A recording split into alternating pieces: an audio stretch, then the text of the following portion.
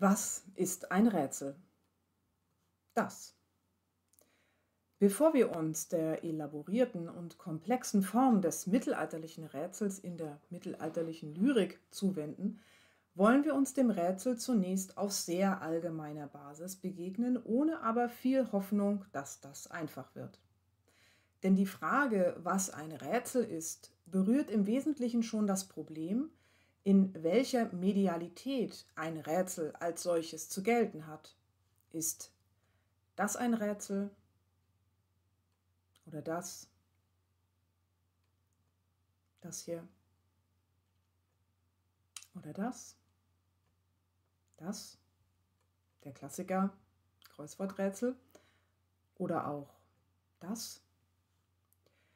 In der Literaturwissenschaft kann man sich wohl zunächst auf Rätsel zurückziehen, die sprachlich verfasst sind. Die wenigen Beispiele, die Sie gerade gesehen haben, illustrieren allerdings auch, wie schwierig selbst das ist, denn unterschiedliche Rätseltypen beziehen Sprache neben anderen Medialitäten mindestens mit ein oder stehen mit einem Text in unmittelbarem Zusammenhang. Text-Bild-Verhältnisse können dabei höchst komplex sein. Bei einem Beispiel wie diesem hier steht vor dem Hintergrund der Textbegriff selbst zur Debatte. Es handelt sich um ein panegyrisches Figurengedicht des Dichters Publilius Optatianus Porphyrius, das er im Jahr 326 Kaiser Konstantin gewidmet hat. Optatians höchst anspruchsvolle Texturen stehen in der Tradition hellenistischer Figurengedichte. Sie spielen mit den medialen Möglichkeiten zwischen Schrift, Klang und Bild und weisen eine spezifische strukturelle Verknüpfung auf, die nicht getrennt werden kann. Der komplexe Sinn dieser Carmina gilt auch, äh, gilt sich, Entschuldigung, gibt sich als ein Rätsel auf. Der Leser bzw. Betrachter, die Leserin, die Betrachterin, agiert ich zitiere Annalena Körfer, als Spieler und Rätsellöser auf einer Ebene des Textes, die ihm immer wieder neue Sinneinheiten eröffnet. Zugleich fordert der Dichter, der als Verfasser des Textspiels diesen performativen Akt angelegt hat, seinen Leser durch dessen starke Aktivierung immerzu heraus. Die Mühe des Dichters steht wiederum in Wechselwirkung mit dem Spiel, das er für den Leser erzeugt. Ein Rätsel bzw. ein Rätselsteller, eine Rätselstellerin aktiviert die Aufmerksamkeit der Rezipierenden und übt durch gewisse Textstrategien einen Zwang auf sie aus, die implizierte Frage als solche aufzufassen und zu beantworten. Zwischen Produzent und Rezipientinnen herrscht ein Wissensgefälle, das der Rätselsteller, die Rätselstellerin von seiner Seite aus nicht gewillt ist, aktiv auszugleichen. Das unterscheidet ihn oder sie von einem Lehrer, einer Lehrerin. Es handelt sich vielmehr um eine Aufgabe, die erfüllt werden muss und die darüber entscheidet, ob Produzentinnen und Rezipientinnen ebenbürtig sind. Ein Rätsel in seiner elokutionären Kraft nach einer Frage, die eine Antwort impliziert. Die Frageform ist dabei nicht immer im linguistischen Sinne aufzufassen. Zumeist ist das Rätsel selbst konstativisch. Zwar hat eine etwaige Rätselaufforderung, beispielsweise kannst du das Rätsel lösen oder was bin ich oder ähnliches, oft die linguistische Form einer Frage, ob sie aber in jedem Fall zum Gattungsmuster des Rätsels dazugehört, ist selbst wiederum eine Frage, welche die Forschung bis heute nicht abschließend hat lösen können. Es gibt etwa Rätsel, welche die Rateaufforderung insofern integrieren, als dass sie mit dem verrätselten Text zum Beispiel im Reim stehen und daher aus formalen Gründen dazuzurechnen ist. Nicht jede formal dazugehörige Rateaufforderung ist jedoch auch linguistisch eine Frage. Viele Rätseltexte implizieren Rateaufforderung und Frage nur, weil sie aufgrund einer Kodierung, das heißt einer Verrätselung, eine Dekodierung, das heißt eine Enträtselung und das heißt eine Antwort erfordern. Eine Antwort ist immer Teil einer binarischen Struktur, da zwingend eine Frage dazugehört und umgekehrt. Das Jeopardy-Konzept. Ob die Antwort des Rätsels Lösung also konstitutiv ebenfalls zum Rätsel gehört, steht darüber hinaus zur Diskussion. Dabei ist entscheidend, ob man einen Rätseltext allein in seiner einmalig überlieferten sprachlichen Form meint oder kontextuelle Aspekte als gattungskonstitutiv mit einbezieht, beziehungsweise welche Kriterien zwingend vom Kontext hinzugezogen werden müssen und welche schon aus Gründen der historischen Ferne zu vernachlässigen sind.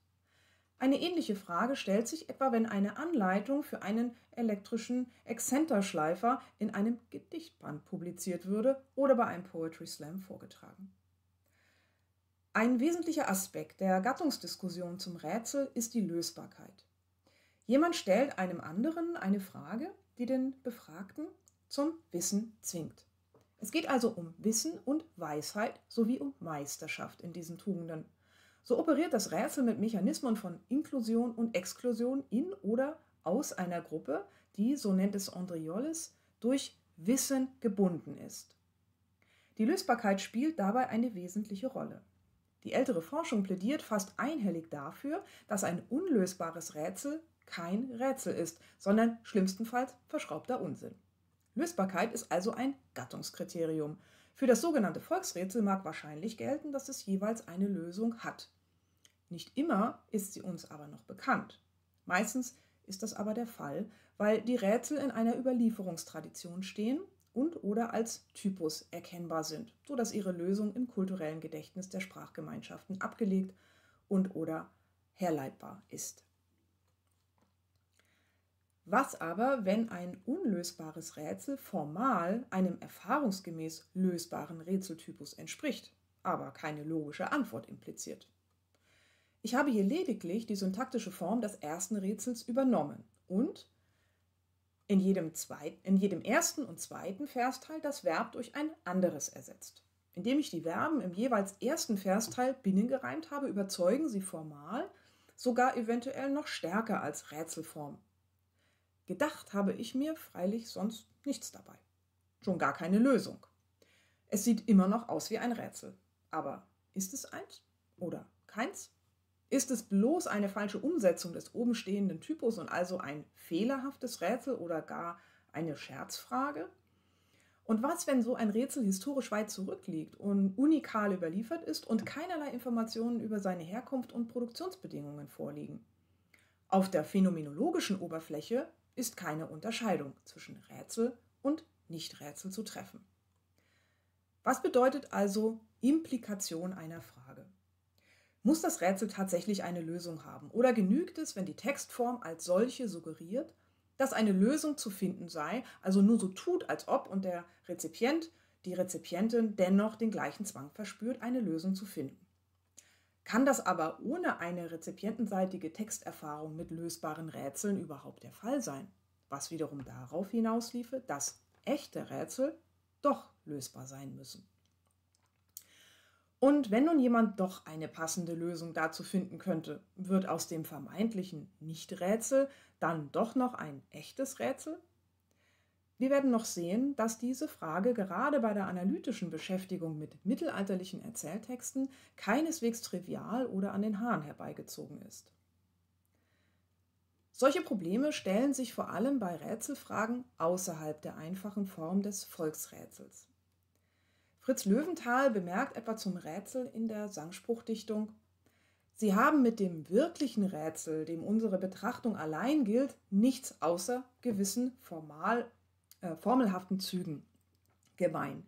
Denn von dem Wesen des echten Rätsels ist ein gewisses Maß von Gegenständlichkeit, Bildkraft, Gedrungenheit und vor allem Lösbarkeit nicht zu trennen.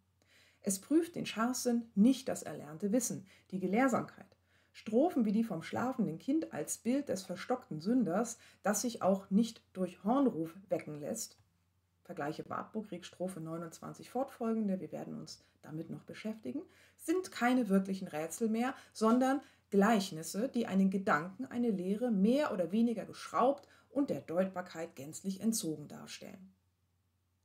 Hier schon wird deutlich, dass insbesondere die gattungstypologische Abgrenzung gegenüber anderen Rede- und Textformen schwierig ist. Andriolis hat in seiner Darstellung einfache Formen, auf die strukturellen Gemeinsamkeiten von Rätsel und Mythe hingewiesen. Überschneidungen gibt es etwa auch mit der geregelten Prüfungsfrage, worauf insbesondere Thomas Tomasek hinweist. Das Rätsel ist eine Textsorte, die einen Begriff als Text verschlüsselt zum Inhalt hat. Seiner Textfunktion, Elokution nach, stellt es eine Prüfungsfrage dar. Als Verschlüsselung gilt jede Form der Merkmalsangabe und Frageeinleitung, die den Anforderungen geregelter Prüfungsfragen zuwiderläuft.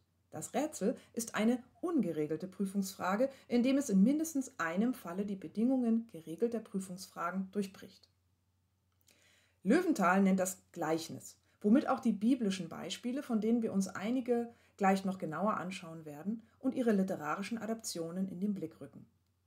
Die Rätsel in den Sangspruchstufen stehen außerdem der Allegorie äußerst nahe, womit sich vor allem die jüngere Forschung auseinandergesetzt hat. Die Lösbarkeit und die damit verbundenen Inklusions- und Exklusionsmechanismen spielen gerade beim Rätsel in der mittelalterlichen Lyrik und insbesondere in der Sangspruchdichtung und im Meistersang die wesentliche Rolle. Denn dort geht es nämlich darum, dass der Sänger seine Meisterschaft erweist, nicht nur gegenüber dem Gönner und Auftraggeber oder dem Publikum allgemein, sondern vor allem auch gegenüber den Dichterkollegen. An der Meisterschaft des Sängers ermisst sich seine zeitgenössische gesellschaftliche Rolle und letztlich auch, wie wir sehen werden, seine kulturgeschichtliche Stellung. Meisterschaft in der Sachspruchdichtung ist an die Darstellung und Aufführung von Wissen und Weisheit gebunden. Dabei ist der Sänger grundsätzlich bestrebt, die Gruppe der Ebenbürtigen so klein wie möglich zu halten oder eben auch als einsam sich zu Tode singende Nachtigall ganz allein auf der Bühne zu stehen. Jolles spricht von Heimtücke des hämischen Rätsels. Jedes Rätsel trägt den Agon in sich, indem es ein Wettkampf um das Wissen und die Zugehörigkeit zum arkanen Zirkel bedeutet. Den Agon hat das Rätsel mit dem Spiel gemein. Roger Caillois unterteilt die Spiele in vier Gruppen: Agon, Alia, Mimesis und Ilings. Letztere beiden sind als Spielkategorien umstritten. Argon und Alia aber sind die beiden Idealtypen, in denen sich die meisten Spiele, vor allem mittelalterliche, in unterschiedlichen Mischverhältnissen gruppieren lässt. Wettkampf und Zufall. Am Rätsel ist nicht Zufälliges, es ist reiner Argon. Ab dem 13. Jahrhundert ist ein Zuwachs an Verrätselungsstrategien in der Sangspruchdichtung und in der mittelalterlichen Lyrik allgemein zu verzeichnen, der die Tendenz zur Arkanrede und zur reinen Unverständlichkeit aufweisen kann oder eben, wie Löwenthal moniert, geschraubt und der Deutbarkeit gänzlich entzogen daherkommen. Der inszenierte Sängerstreit treibt schließlich den Argon als Rede- und Aufführungsform auf die Spitze.